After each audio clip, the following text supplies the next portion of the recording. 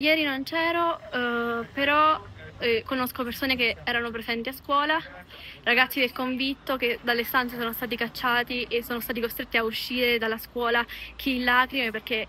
è una cosa, diciamo, scandalizzante. Anche perché ieri avevo mandato anche i miei genitori a prendere i libri, non ci è stato permesso di riprendere i libri. Eh, quindi noi abbiamo anche il materiale dentro la scuola, non possiamo fare lezioni senza i libri o senza il materiale, quindi è,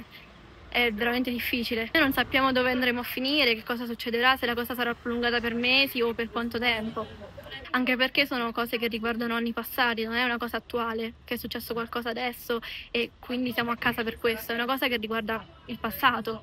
perché si è visto anche con il Covid quanti problemi ci sono stati, stando in didattica a distanza, stare fermi non si sa quanto tempo perché non sappiamo ancora quando ci eh, metteranno in un altro istituto. E comunque influirà a livello scolastico sia per l'andamento del programma di qualunque materia ma anche per noi perché è uno stop abbastanza lungo e non è poi all'improvviso così. Ma la cosa più scandalosa è che eh, dopo tutto quello che è successo riguardo il terremoto o altri problemi atmosferici, da 15 anni a questa parte ci ritroviamo in una situazione del genere, è assurdo.